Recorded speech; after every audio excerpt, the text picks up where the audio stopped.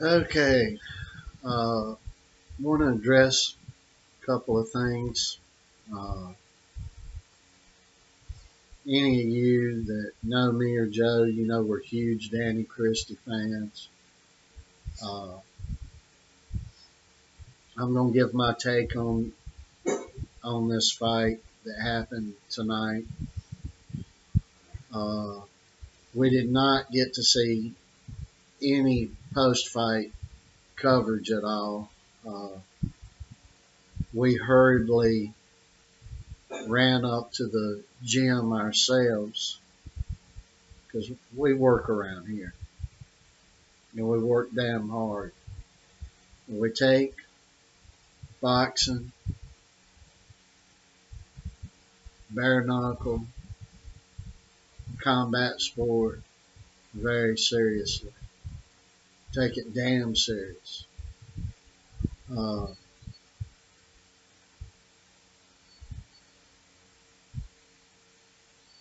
Danny had got knocked down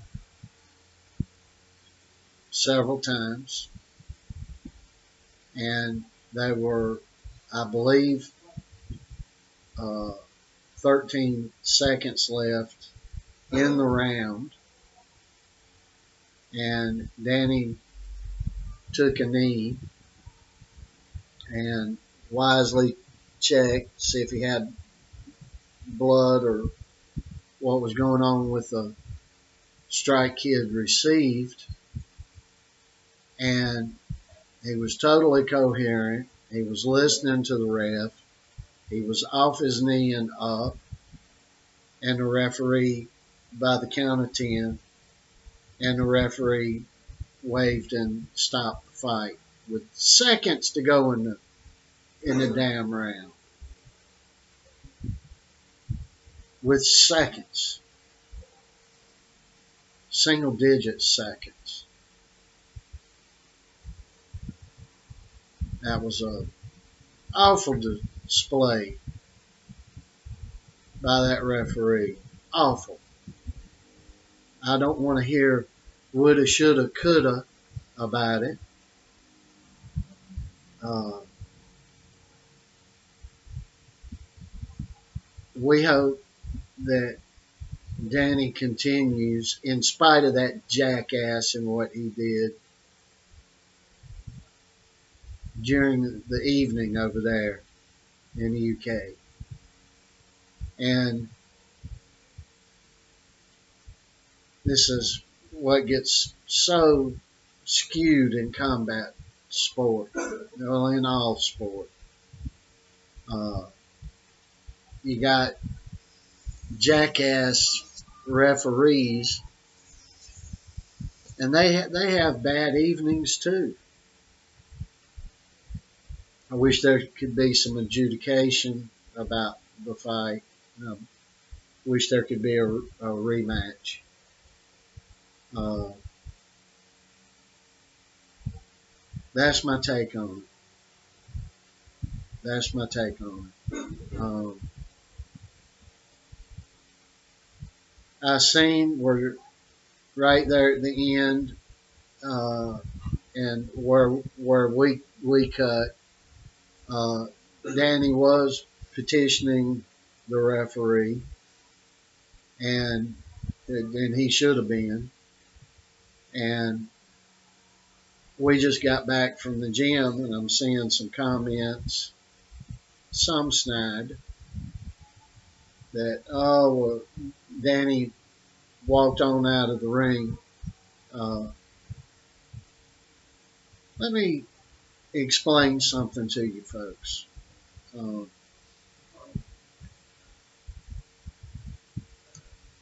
it's easy to be sitting in a recliner or laying down on the couch and watching a sport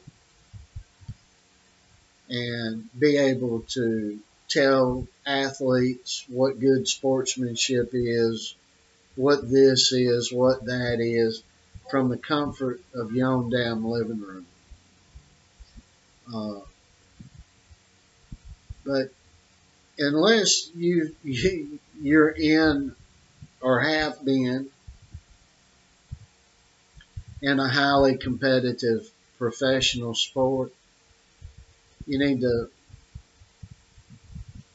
understand fully that you, you don't know what it's like. You've pro- you've never been in a situation uh, with so much on the line and such a highly, highly competitive nature, and you ain't never been there. You ain't never been there.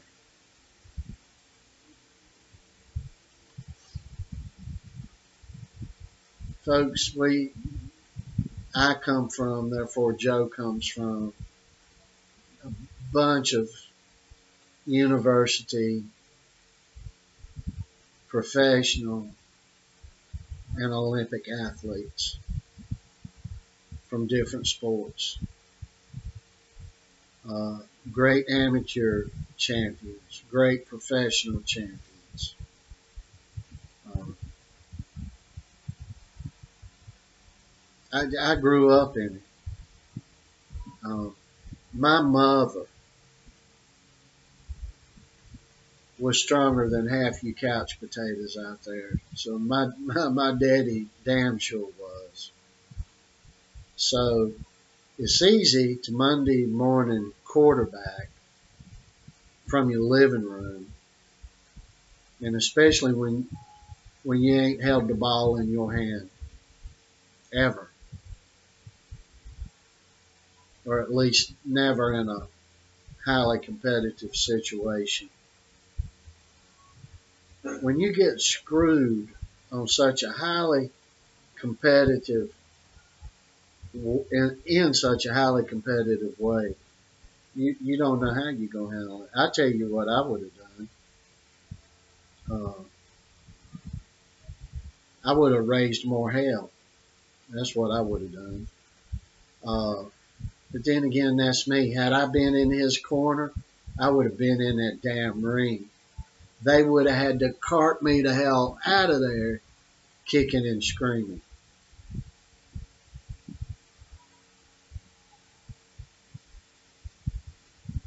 Okay, you can sue me for that, uh, but we're competitive as hell around here.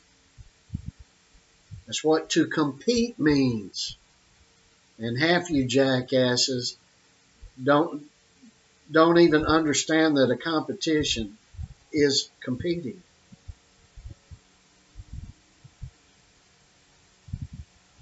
So be careful what you think. Be careful what you say. Think about what you say. Think of, think about things. And if you haven't been in a situation that a professional athlete's been in, you can have your opinions, but before you sound off the horns, try to think about what what what you sounded, what horn you tooting and behave your damn selves out there. Most of you have no idea what winning is about that are complaining about this thing. You, you've been losing all your life. Many of you because you never even tried.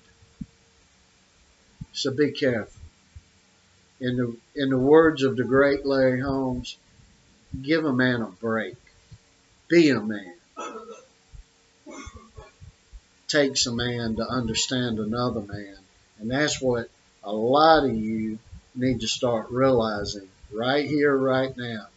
It takes a man to understand how another real man is reacting to something. Be it a win, a loss, or a draw or a tied ball game.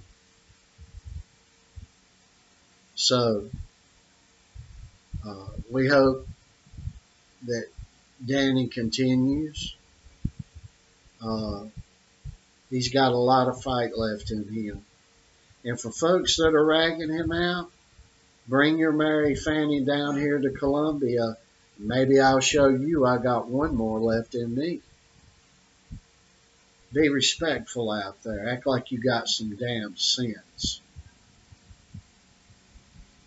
Gonna rag a champion. Who the heck, are you to be doing something like that?